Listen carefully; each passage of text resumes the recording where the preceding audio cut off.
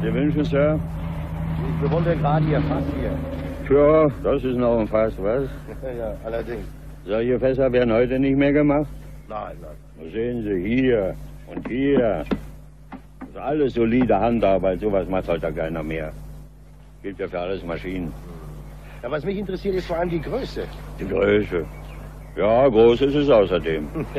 Platz genug darin für einen ausgewachsenen Mann. Oder für eine Frau, je nach Bedarf. Ja, wirklich.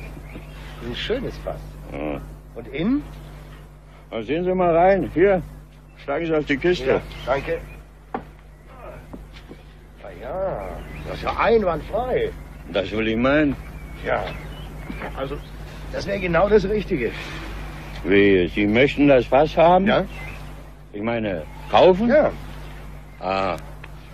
Na ja, Wie viel soll es denn kosten? das habe ich mir eigentlich noch nie überlegt. Das steht schon lange da. Das ist doch auch gleichgültig. Schicken Sie mal die Rechnung. Die Rechnung, gut. Rauf ins Haus zu den Quincy's. Sind Sie Mr. Quincy? Nein, nein, mein Name ist Cobb. Ja, ich bin mit Miss Quincy verheiratet. Ach so, natürlich. Man sagt eben immer nur die Quincy, Sie Ja, verstehen. ja, ja. Jedenfalls kriegen Sie da ein gutes Fass, beste Qualität. Und für jeden Zweck geeignet. Na, das denke ich auch. Wir bringen es Ihnen heute Nachmittag, Mr. Quincy.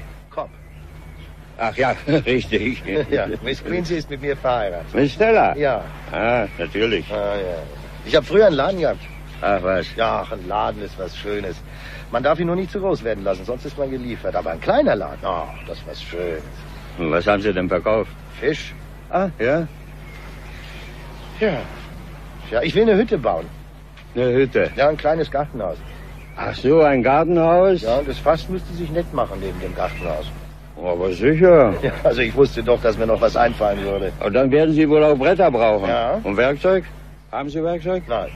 Mit Werkzeug kann ich Sie ausrüsten und Bretter können Sie auch von mir haben. Auch Nägel? Auch Nägel, natürlich, alles, was Sie Am brauchen. besten. Wir bringen es heute Nachmittag. Ja, ja, aber das Fass, das nehme ich gleich mit. Das große Ding da? Das wird mir Spaß machen, es nach Hause zu rollen. Vor mir her. Also dann kommen wir mit den Brettern. Und dem Werkzeug und den Nägeln. Ganz recht, Mister. Kopf. Richtig. Zu den Quincy's. Ja, Und die die Rechnung? bringen Sie auch. Augenblick, ich helfe Ihnen. Beim Kippen. Ja. Da glauben Sie wirklich, Sie kommen zurecht. Oh ja, das geht schon. Also dann, Auf Wiedersehen, Mr. Skelton. Auf Wiedersehen, Mister. Kopf.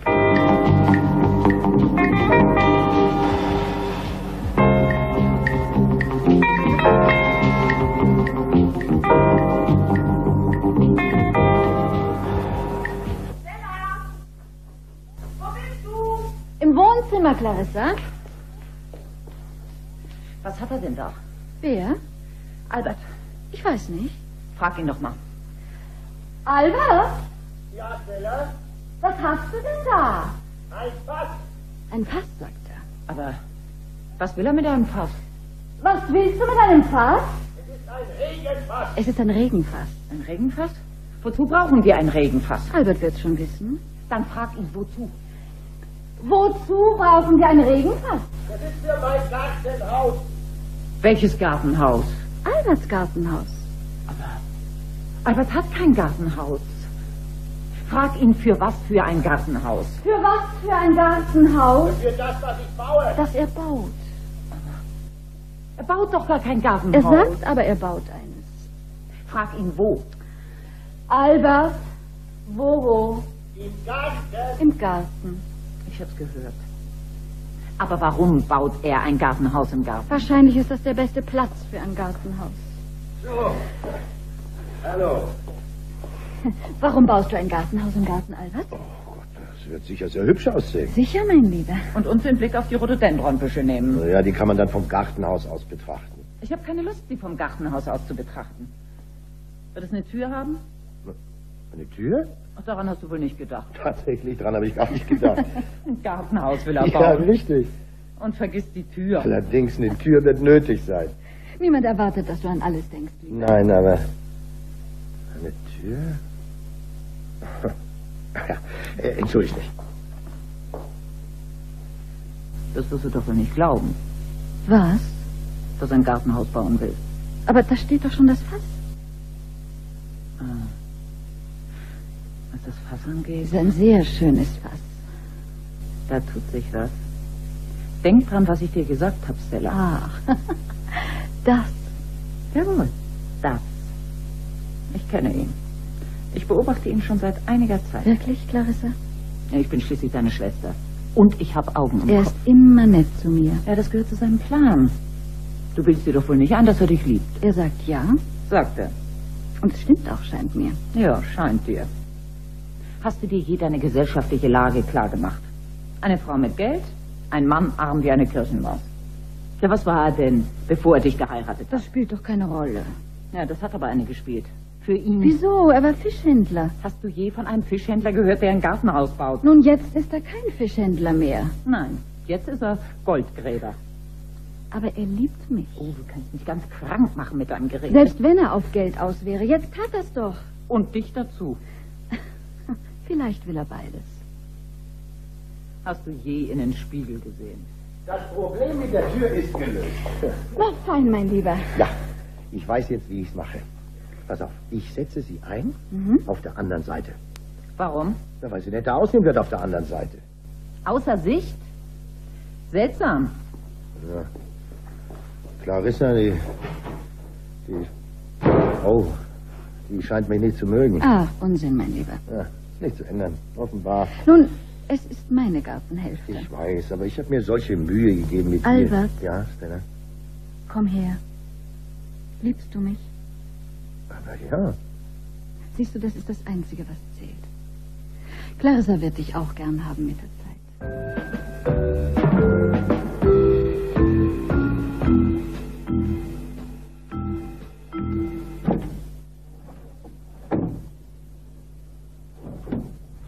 Das wär's. Damit können Sie ein Gartenhaus bauen, bis so schnell kein zweites gibt. Wo ist denn das Werkzeug? Hier, das Beste, was es gibt. Damit wird Ihnen die Arbeit zum Vergnügen. Also lassen Sie doch mal sehen. Eine Augenweide, was? Oh, ja, ich hab recht. Das hier ein Stecheisen, Oh, scharf, was? wie ein Rasiermesser. Seien Sie nur vorsichtig, damit ist im Finger ab wie nichts. So schnell, dass Sie es gar nicht merken. Ich habe mal einen gekannt, ihm ist das passiert. Der hat ein Stück Holz gehalten, so, sehen Sie, so. Und während sein Kumpel es bearbeitet hat und plötzlich sagt er, der, den ich gekannt habe, zu dem anderen, hey, guck mal, da auf dem Boden. Was ist denn das? Sagt der andere. Und mein Freund sagt, ein Finger.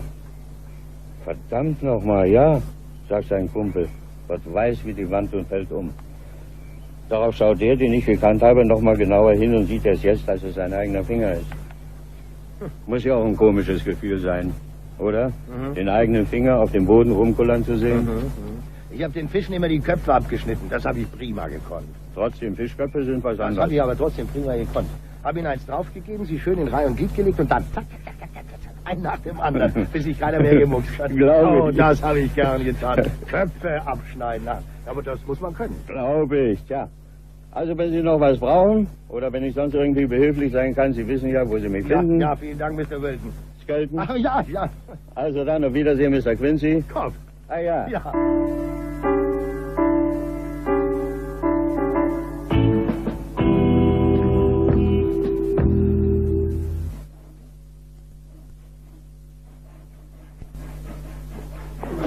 Du strickst. Hast du sie gesehen, Stella? Wen? Diese Mordwaffen. Ach, du meinst wohl das Werkzeug. Sieh doch nur, was er da treibt mit der Säge. Er muss doch üben. Ja. Aber wozu? Nun, er hat noch nie ein Gartenhaus gebaut. Nein. Und er denkt auch gar nicht dran, eins zu bauen. Der hat was ganz anderes vor. Der will dich.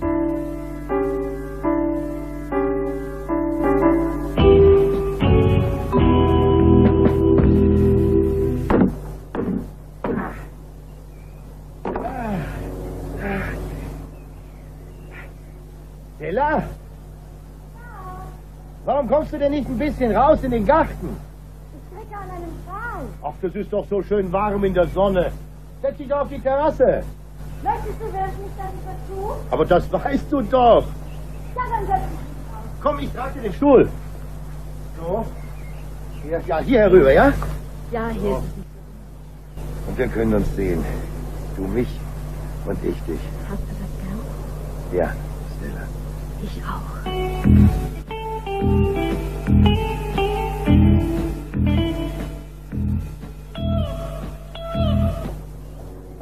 Albert?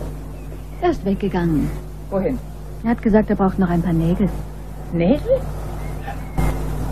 Was war das? Ich habe nichts gehört. Ich hätte schwören können. Also Nägel braucht er noch? Ja, Bist du sicher? ja.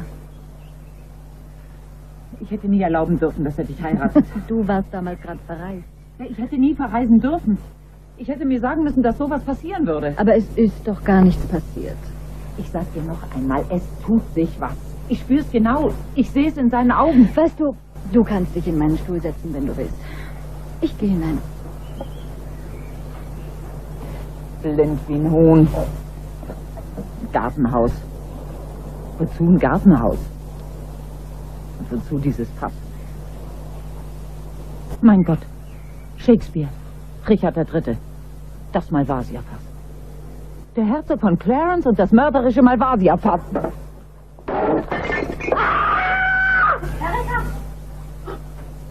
Oh,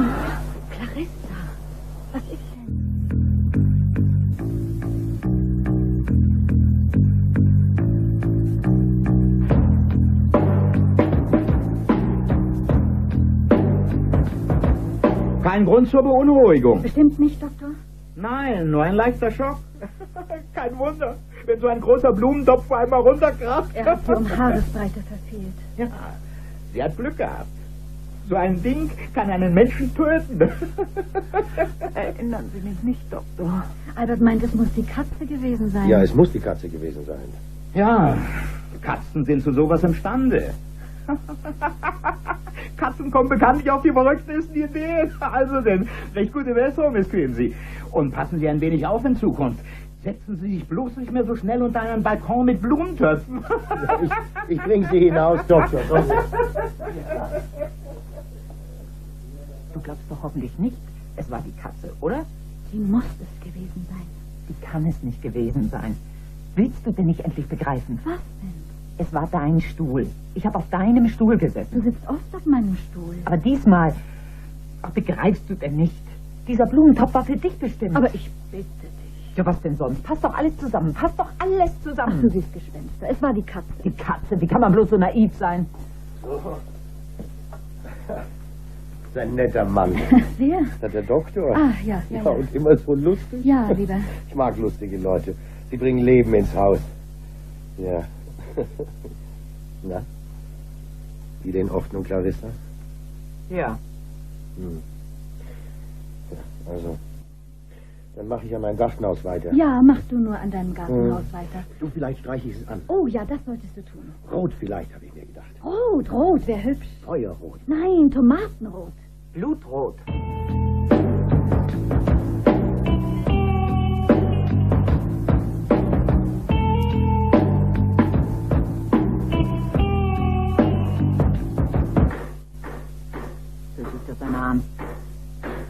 Uhr morgens. Der Mann muss wahnsinnig sein.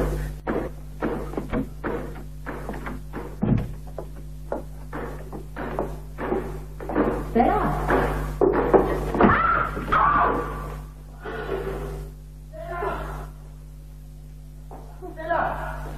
Was ist denn? Stella! Was? Ach, Clarissa, du. Also, hast du dich verletzt? Rühr mich nicht an. Ja, ich verstehe ein bisschen was von Erster Hilfe. Rühr mich nicht an. Was ist denn? Ist was passiert? Ja, Clarissa ist ausgerutscht und die Treppe runtergefallen. Bin ich ausgerutscht. Ich bin auf das runde Ding da getreten. Ach du liebe Zeit, das ist ja mein Senklot. Ich hätte mir gleich gedacht, dass das von hier ist. Ich habe schon überall gesucht. Na, kann ich mir Es vorstellen. muss ja runtergefallen Nicht, sein. dass ich wüsste. Natürlich nicht. Hattest du es nicht an dich genommen, Stella? Wozu hätte sie es an sich nehmen Nein, sollen? lieber. Ja, ich dachte ja nur. Na, dann denk nochmal. Ja. Ach, Mrs. Hippel hat gestern sauber gemacht. Vielleicht hat sie es gefunden Ja, lieber. und auf die Treppe gelegt. Wahrscheinlich. Warum nicht wieder die Katze? Mrs. Sippel hat bestimmt nichts damit zu tun. Woher willst du das wissen, Clarissa? Ich weiß es. Hm, Ja, du hast ja doch nichts gebrochen. Nein. Na, dann ist ja alles gut. Meinst du? Geh nur wieder in den Garten, Albert. Ja, hm, wie du meinst. Schön.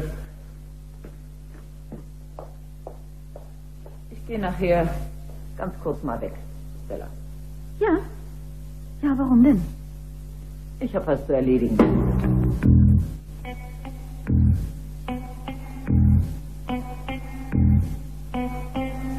Quincy. Den Namen kenne ich doch. Die Mühlen, Sir. Der alte Quincy war sozusagen der Bauer der Stadt. Eine zweifelhafte Ehre. Ja, Sir. Und was will diese Frau? Sie hat es mir nicht gesagt, Sir. Sie besteht darauf, den ranghöchsten Polizeibeamten der Station zu sprechen. Ja, dann wird mir wohl nichts anderes übrig bleiben. Nein, Sir. Aha, daher weht der Wind. Naja, also dann rein mit ihr.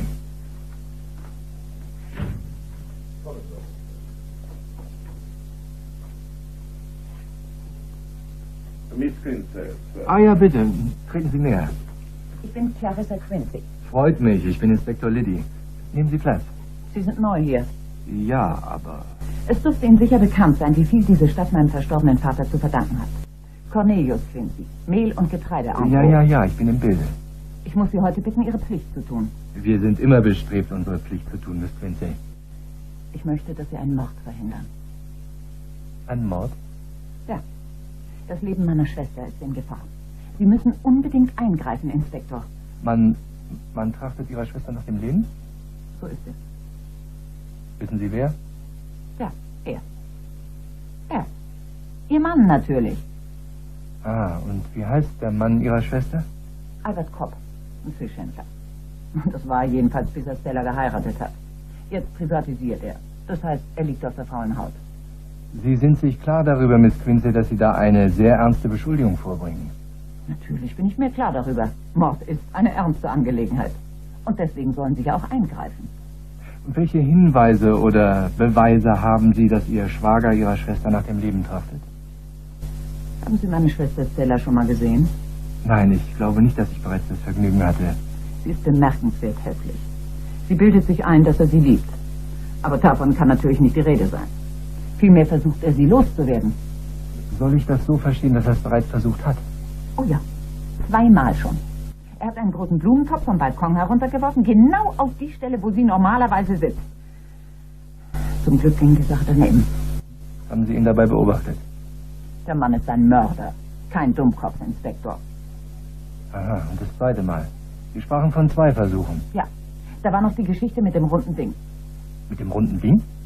Ja, das ist nicht wirklich rund. Am unteren Ende läuft es spitz zu. Das ist aus Blei oder Messing und lag auf der Treppe. Mhm. Wo er es hingelegt hatte, damit sie darüber fällt. Haben Sie ihn dabei beobachtet? Wie sollte ich? Gibt es sonst noch irgendwelche Verdachtsmomente? Ja, da ist dieses Fass. Ein Fass. Ja, er behauptet, es sei ein Regenfass für sein Gartenhaus. Aber das Gartenhaus ist nur ein Vorwand. Aha. Und das Fass ist für ganz was anderes da. Kennen Sie Richard den Dritten? Naja, Von Shakespeare. das weiß ich. ja. Also in dem Stück wird der Herzog von Clarence erst erstochen und dann kopfüber in ein Fass voll Malvasierwein getaucht. Also verstehen Sie. Deswegen also das Fass. Sonst noch was? Sie sollen diesen Mord verhindern. Hat Mr. Cobb Ihre Schwester je bedroht? Oh, dazu ist er viel zu schlau. Oder hat er oft Streit mit seiner Frau? Im Gegenteil. Die beiden sind wie die Turteltauben. Das ist also ekelhaft, widerlich. Ah, ja, ja. Äh, gibt es irgendjemanden, der Ihre Vermutungen bestätigen könnte? Irgendwelche Zeugen? Natürlich nicht. Meine Schwester und ich leben allein. Allein mit diesem Mörder. Keine Dienstboten? Dienstboten sind Geldverschwendung. Es tut mir sehr leid, Miss Quincy, aber ich fürchte, ich kann nichts für Sie tun. Ich kann Sie nur warnen. Es ist sehr unklug, derartige Beschuldigungen ohne irgendwelche Beweise vorzubringen. Sie meinen, Inspektor. Aber das werden Sie noch bereuen. Denn ich werde mich nun an eine höhere Stelle wenden. Das wird Ihnen nicht viel helfen, Ich gehe zum Minister. wie Sie wünschen. Quincy ist ein Name, der etwas gilt in diesem Land. Gewiss, gewiss. Trotzdem glaube ich, dass die Haltung, die Sie einnehmen, sehr unvernünftig ist. Ich finde, Sie sollten lieber nach Hause gehen und Sie... Ach, Sie. Sie wollen ja nur ablenken von Ihrer Faulheit und Unfähigkeit. Aber warten Sie nur ab. Das Gartenhaus ist fast fertig. Bald ist es ganz fertig. Und dann...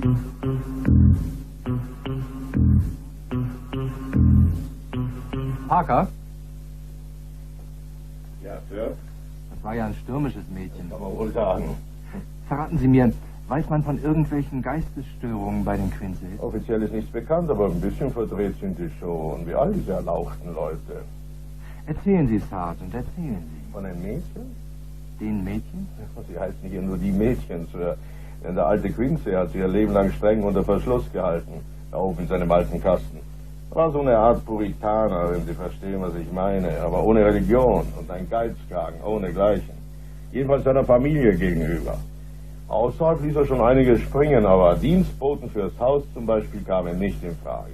Und auch nicht die anderen Dinge, die man sonst so hat. Mhm. Dabei hätte er die ganze Gegend hier aufkaufen können. Für Schulen und so weiter hat er immer was spendiert. Aber die Mädchen hat er zu richtigen alten Jungfern erzogen. Nicht, dass sie das Zeug zu was anderem gehabt hätten, aber immerhin, er hat ihnen nicht die geringste Chance gegeben. Ja, und doch hat die eine schließlich noch einen Mann gefunden. Ja, den armen Albert Kopp. Kennen Sie ihn? Hatte einen kleinen Fischladen, bis Stella Quincy ein Auge auf ihn warf und ihn sich angelte. Ach, Ihre Schwester, glaube ich, sieht's umgekehrt. Da können Sie hier jeden fragen. Er war ein stiller, bescheidener Mann und ganz zufrieden mit seinem Leben. Bis sie ihn sich geangelt hat, wie eine von seinen Fischen. Aha.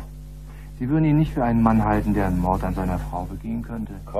Den? Ach du lieber Himmel, nein, Sir. Parker, wo müsste ich hingehen, wenn ich ein Fass kaufen wollte? Ein Fass? Ein Fass, ja. Tja, ich ist ja eigentlich nur Skelton, der alles hat. Am Ende der Hauptstraße, gar nicht zu verfehlen. Aber wenn Sie mit Skelton selbst reden wollen, gehen Sie besser in den silbernen Kessel. Das ist die Ja, Kneipe. ja, ich weiß, ich weiß. Ach so. Ja, das Erste, was ein Polizeimann in einem neuen Ort ausfindig machen muss, das ist die Lage der Kneipen.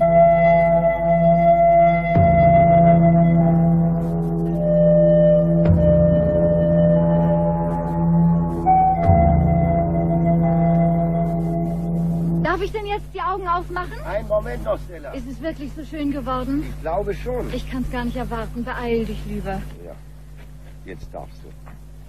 Oh, Albert. Na? Ja, das ist ja wunderschön. Ja?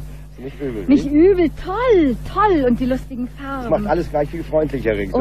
Oh ja. Clarissa! Clarissa! Ja? Was ist denn? Ja, guck doch mal.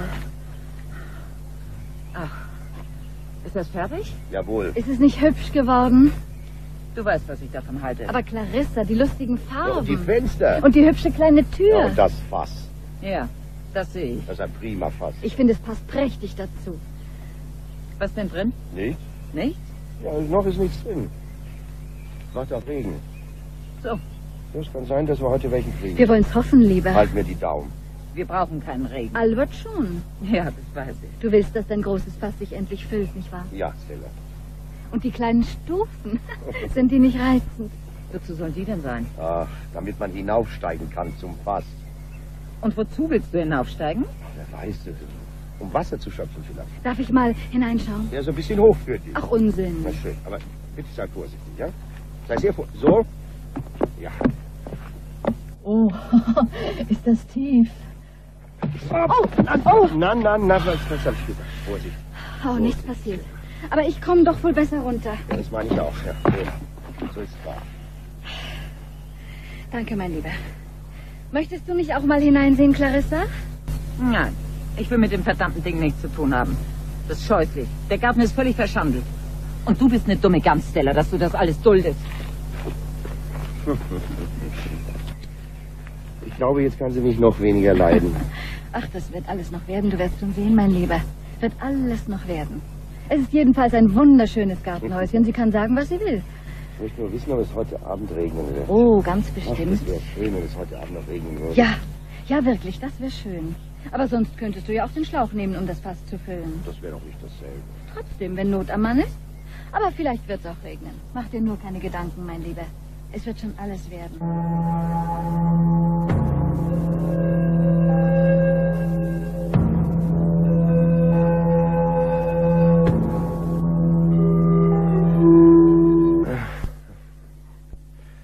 So drückend heute Abend.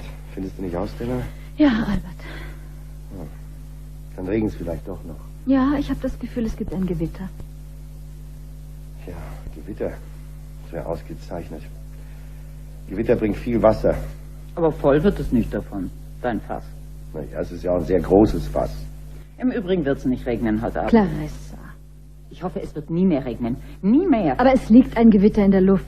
ich hoffe, das Fass steht strohtrocken draußen, bis es springt. Nach all der Mühe, die sich Albert gegeben hat, wie kannst du so gehässig sein?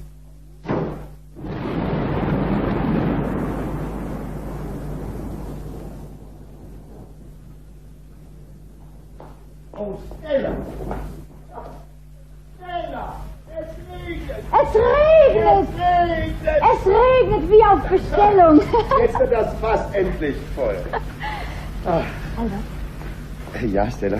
Albert, bevor wir geheiratet haben, bist du doch abends oft noch ein Gläschen trinken gegangen. Ja, ja, das stimmt. Heute bist du doch fertig geworden. Ich habe mir gerade überlegt, ob du nicht Lust hättest, ein bisschen zu feiern.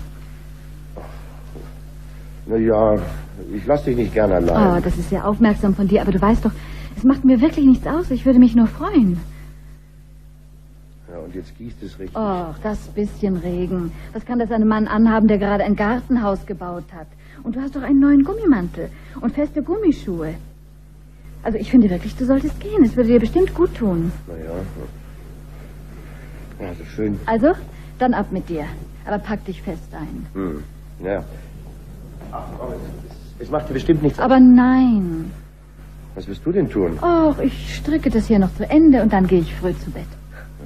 Wirst du dich nicht einsam fühlen? Ach, Dummchen. Natürlich werde ich mich einsam fühlen, aber ich werde es schon überleben. Hm. Also, ich bleib nicht lang. Lass dir nur Zeit. Adieu, mein Lieber. Tja. Also dann. Adieu.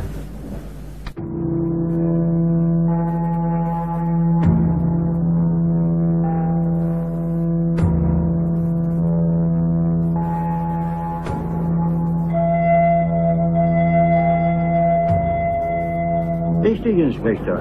In erster Linie hat ihn die Größe interessiert. Aha, ein großes Fass soll es also sein. Das Größte. Ja, wenn er so weitergeht. Es liegt doch nichts vor gegen diesen Kopf. Oh nein, nein, nein, das nicht, aber. Ja, muss ich da oben in diesem Schloss ja vorkommen wie in Abrahams Schoß? Dort haben sie doch Zaster wie Heu. Der alte Quincy. Ein etwas sonderbarer Heiliger war der schon, aber für Geld hatte der einen Riecher. Religion und Geschäft hielt er stets fein säuberlich auseinander. Also dürfte es Mr. Kopp ja an nichts fehlen. Oh, so wurde Polster, das weiß ich ja keinem weit und breit.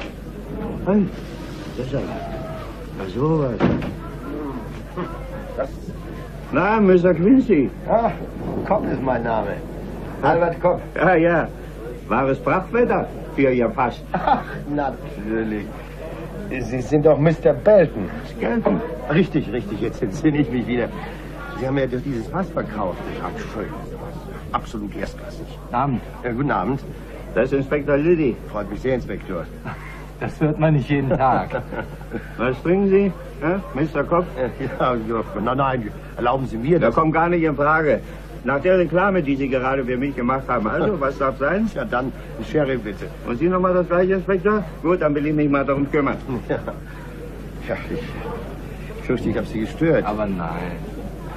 Habe ich richtig gehört, Sie haben von Mr. Skelton einen Pass gekauft? Mhm. Für mein selbst gebasteltes Gartenhaus. Was, Sie haben sich ein Gartenhaus gebaut? Ja, ja, und das ist sehr hübsch geworden. Aha.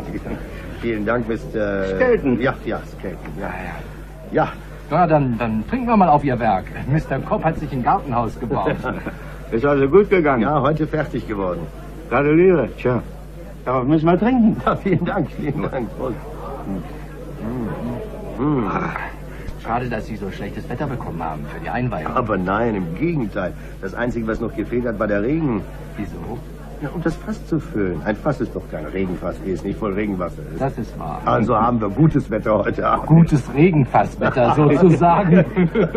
genau. Hm. Warum haben Sie sich das Fass gekauft? Ach, das hat mir gefallen. Gleich als ich es gesehen habe, da habe ich mir gesagt, das und kein anderes. Und warum? Nur weil es so, so, so schön groß ist. Sie haben eine Schwäche für große Oh Fässer. ja. Weshalb? Ich weiß nicht. Ich finde große Fässer eben schön. große Fässer und Weiber. Sehr gut. Ich finde große Fässer auch schön. Ja? Aber voll müssen sie sein und nicht unbedingt voll Wasser. Aha. Sie sitzen schon wieder trocken. Ah, Kompliment, Inspektor. Sie haben ein scharfes Nein, nein, nein, nein, jetzt bin ich an der Reihe. Nein, verzeihen Sie, ich, ich habe nicht oft das Vergnügen, einen Baumeister zu einem Drink einzuladen. Äh, Bringen Sie uns noch eine Runde, jedem das Gleiche. Und noch eine dazu, ich bestehe darauf. Ein Gartenhaus baut man ja schließlich nicht alle Tage. Sie sind mächtig stolz auf Ihr Werk. Ja, und ob? Ich nehme deshalb auch eine Flasche Sekt mit nach Hause. Wir dachten, es wäre nett, das Werk zu begießen. Wir? Ja, meine Frau und ich. Ach, natürlich. Äh, Kellner? Unser Freund hier möchte noch eine Flasche Sekt. Ja, so ist es. Ja? Irgendeine bestimmte Marke? Nein, nein, der, aber den besten, den Sie haben. Nur keine falsche Sparsamkeit heute. Na, ganz recht. ja, als ich meinen Laden noch hatte, Ich habe Mr. Felton schon davon erzählt. Felton? Ja, ja, richtig. Also, damals, da war ich immer schon beim ersten Hahnschrei auf den Beinen, um sauber zu machen, um die Fische herzurichten. Oh, hey. Das Auto. Ist das Gewitter. Da kann ich nur sagen, Gläser festhalten. Ja.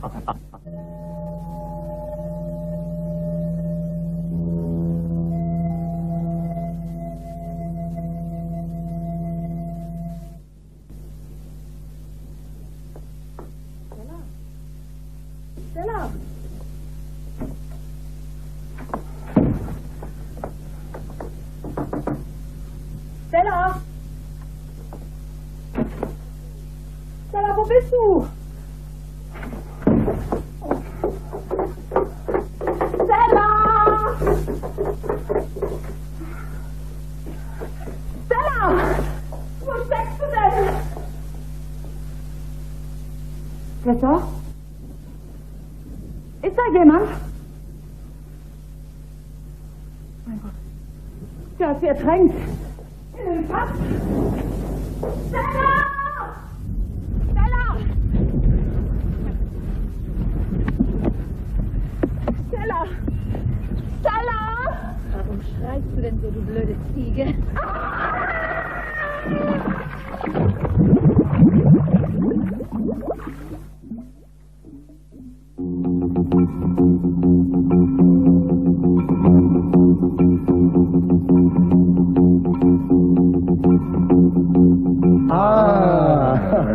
na endlich wieder Licht. Ja, Gott sei Dank, Prost. Also Ich trinke nicht gern im Dunkeln. Mhm. Seit ich von dem Mann gehört habe, der bei so einer Gelegenheit eine Maus verschluckt hat, Glauben Sie ihm nicht, Kopf. die reine Wahrheit, ich schwör's. Natürlich, nicht jeder nimmt das Maul so voll. Maus. Er war Polizist, Polizistengruß. Aber jedenfalls zeigt die Geschichte, Vorsicht ist besser als Nachsicht. Und die Maus soll ja noch gelebt haben. Oh Gott. Grauenvoll. Ja. Oh. Sie mit Ihren Gruselgeschichten. ja. Also, jetzt muss ich langsam nach Hause. War schon? Ist ja, Ja. noch so früh am Tag. Ja, es war mir jedenfalls ein großes Vergnügen, meine kannst auf unserer Seite, du kannst auf unserer Seite. Aber ich muss jetzt wirklich gehen. Sie müssen mich mal besuchen und äh, mein Gasthaus besichtigen. Und das passt, das ist eine Einladung, eine offizielle Einladung. Ich lade Sie ein. Sehr nett. Außerordentlich nicht sogar. Ja, dann, kommen Sie also. Ein Vergnügen. Ich auch, ich auch. Na, also dann, Wiedersehen. Vergessen Sie Ihren Sekt nicht. Ach, um Himmels Mr. Cobb. Ja, das bin ich. Ein Anruf für Sie. Mrs. Cobb ist am Apparat. Oh, je, je, je. Da, da, da muss ich aber. Entschuldigen Sie, meine Herren. Da geht er hin. Braver Mann. Sie sterben aus, die braven Männer. Ihm sagen Sie das. Und was Besseres kommt nicht nach. Spector. Das war meine Frau. Ein entsetzliches Unglück ist geschehen.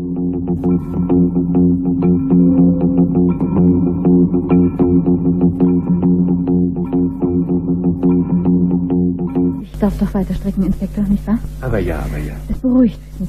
Muss ja schrecklich für Sie gewesen sein. Als die Lichter ausgingen, muss sie im Haus rumgeirrt und dann rausgelaufen sein. Verstehen Sie? Sie hatte in letzter Zeit immer und immer wieder von diesem Fass gesprochen. Sie war, ja, sie war wie besessen davon. Schien sie magisch anzuziehen. Und diese, diese Stufen, die waren so rutschig. Das stimmt doch, Albert. Ja, Stella. Durch den Regen. Ich habe den Schrei gehört und, und dann das furchtbare Platschen. Ich bin rausgelaufen, so schnell ich konnte, aber ich, ich konnte sie nicht mehr retten. Das Fass war so tief. Ja, ja, ich weiß. Du sollst dich nicht so aufregen, Stella. Und dann haben Sie gleich Ihren Mann angerufen. Ja, Nun, das wäre dann wohl alles im Augenblick. wird es eine gerichtliche Untersuchung geben? Ja, eine reine Formalität natürlich. Äh, Ich sollte Ihnen vielleicht doch noch erzählen, Ihre Schwester ist zu mir gekommen vor einigen Tagen. Mit gewissen Verdächtigungen. Anscheinend schien sie Ihren Mann nicht sehr zu mögen, Mrs. Cobb. Naja, wie das eben manchmal so ist. Also, um nicht lange drum herum zu reden, sie hatte sich in den Kopf gesetzt, dass Ihr Mann Sie, Mrs. Cobb, ermorden wolle. Ich? Dich? Ermorden? Ach, es ging ihr nicht sehr gut in letzter Zeit. Sie litt an Schlaflosigkeit. Ich weiß nicht, ob sie ihren Verdacht auch anderen gegenüber geäußert hat. Ich hoffe nicht. Klatsch dieser Art ist ziemlich unerfreulich. Aber so wie die Dinge liegen, ist es natürlich ein glücklicher Zufall, dass Mr. Cobb den Abend in meiner Gesellschaft verbracht hat. Sie wollen doch nicht sagen, dass Sie ihr geglaubt haben. Natürlich nicht, aber ein perfektes Alibi ist doch nützlich in so einem Fall, nicht? Ja, und das haben Sie, Mr. Cobb. Es könnte nicht besser sein. Mhm. Als ob Sie alles so arrangiert hätten. Selbst wenn die Tote also irgendwelche dummen Gerüchte ausgestreut haben sollte. Für Gerede gibt es eigentlich keinen Grund. Vielleicht, vielleicht verreisen wir eine Zeit lang. Das wäre sicher eine gute Idee, Mrs. Cobb. Ja, irgendwohin in den Süden, nicht wahr, Liebster? Ja, Stella. Mein Mann hat so schwer gearbeitet in letzter Zeit an diesem Gartenhaus. Ja, das glaube ich. Ist aber auch wirklich sehr schön geworden, Mr. Cobb. Ja? Ja, dann darf ich mich jetzt verabschieden. Sie waren sehr freundlich, Inspektor. Aber ich bitte Sie, es war mir ein großes Vergnügen, Sie kennenzulernen, Mrs. Cobb. Leider unter so traurigen Umständen. Leben Sie wohl. Leben Sie wohl, Inspektor. Und nochmals vielen Dank. Ja, also, also da, Inspektor. Ja, also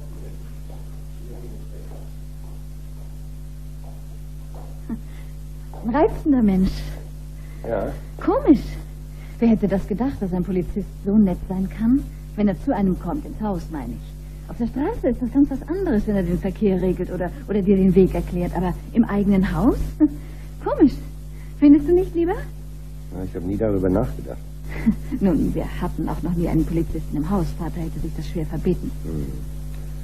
Du hast mir nie viel erzählt von deinem Vater. Ich habe ihn gehasst. Er hat sich immer nur um Clarissa gekümmert. Oh, wir werden eine schöne Reise machen, Albert. Ja? Irgendwohin, wo es warm ist und, und wo es keinen Regen gibt. Das ganz Augenblick geregnet, nicht wahr?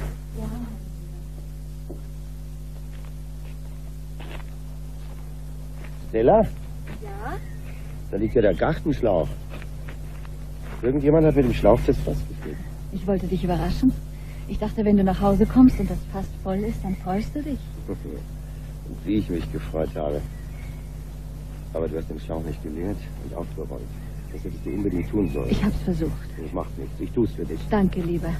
Ach, das ist doch so gut, einen Mann im Haus zu haben, der sich auskennt mit solchen Sachen. Weißt du, als Frau fühlt man sich immer so schwach und hilflos.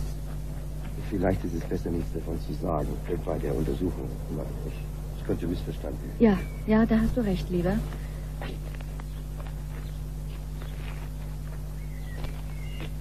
Weißt du, Stella, noch so ein Gartenhäuschen. Das wäre vielleicht gar nicht so übel. Dort drüben, auf der anderen Seite. Ja, das wäre bestimmt allerliebst. Ja, das würde harmonischer aussehen. Das würde irgendwie wir das Gleichgewicht wiederherstellen. Ich hatte vorher schon dran gedacht, aber naja. Nun, jetzt gehört uns ja der ganze Garten. Ich könnte das zweite Gelb streichen. Oh, Gelb. Gelb ist doch meine Lieblingsfarbe. Aber dann würde ich natürlich noch ein zweites Fass brauchen. Aber wo bekomme ich sowas her? Ein Fass, das so groß ist wie dieses. Aber so groß müsste es vielleicht gar nicht sein. Oder? Hm, nun...